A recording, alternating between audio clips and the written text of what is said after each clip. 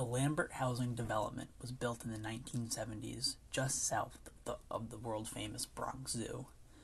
To put it bluntly, they were not designed well, same as many housing projects constructed in that time period. 13 buildings are now being rebuilt with space for 1,300 dwelling units, commercial space, and a school included.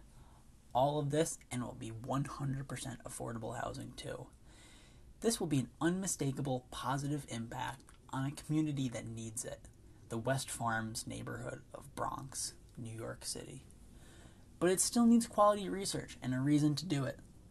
Though this is a large project, not expected to be completed until 2029, it did not need to undergo significant environmental research, as it is in an urban environment and it is a redevelopment not as intensive as if they were starting from scratch from bare land.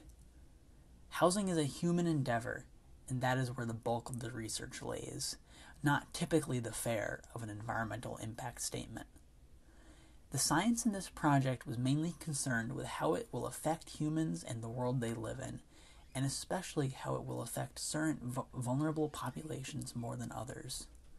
Justice, community centers, public policy, transportation, public health. These are human concerns, but ones that all intersect with the natural world. This is environmental science that deals with the human interaction with the world and thus was localized to the world around the Lambert houses. All of these topics needed research, but they do not show the true extent and reasoning behind this project. It was instead how shadows fall that, that show this reasoning. As per New York City Code, all new buildings over 50 feet tall must do research on the effects of shadows and how they impact light sensitive areas like playgrounds, parks, and church stained glass windows, even. This science was mandated by the city government out of concern for the welfare of residents and how they would or would not be impacted by light that may or may not be reaching them. This is science that achieves an end that would not be done otherwise. Despite this lack of true drive and initiative, this was the longest section of research for this project, at 91 total pages. This goes to show how detailed housing in New York City is, one of the densest and most built up cities in the Western world.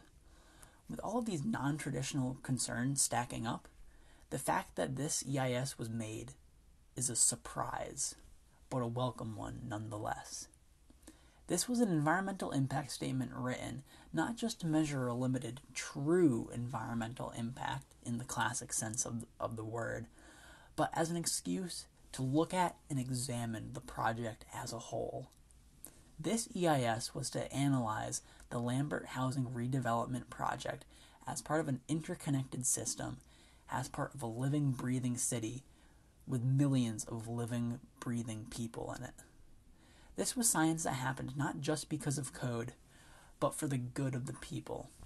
It studied not just the impacts of the buildings themselves, but the shadows they will lay over the people for years and years to come.